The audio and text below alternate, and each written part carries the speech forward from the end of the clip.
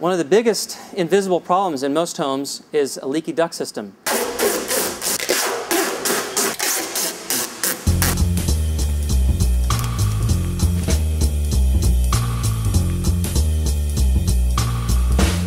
Duct sealing is one of E3 Innovate's specialties. This is the uh, duct blaster test. And we are going to test the total leakage of the duct system. The duct system distributes uh, your heated or cooled air throughout your house, and unfortunately leakage rates are upwards of 30-35% on average.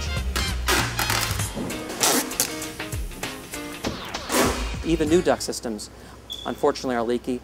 Those leaks mean wasted energy and higher utility bills. But even more important to most of our customers is the influence it has on indoor air quality. Duct systems are typically underneath the home in the crawl space or up in the attic. Both places have a lot of contaminants.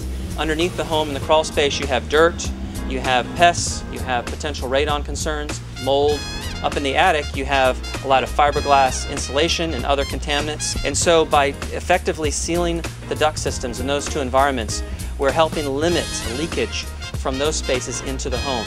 These instruments will tell us um, pretty accurately how much air is leaking out of the duct system. We test the duct systems before and after we've completed our work to ensure the customer that the duct systems have been sealed to a high standard. So I'm going to pressurize the system to 25 pascals and then measure the leakage at that point.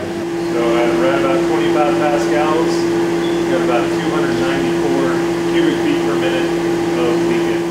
Based on the results of this test, um, this duct system leaks about 18% of the air that should be getting to this conditioned space is being leaked out to the basement. If this were a new system, we would want the duct leakage to be about 8% or less. And we come through and properly seal those systems. And we pull back the insulation off the duct systems. So you have all these little seams all the way around and then you have, you know, maybe 15 joints like this. So every one is uh, leaking air. We properly seal it with a paste and put it all back together again, ensuring that your home is more energy efficient and that indoor air quality is improved.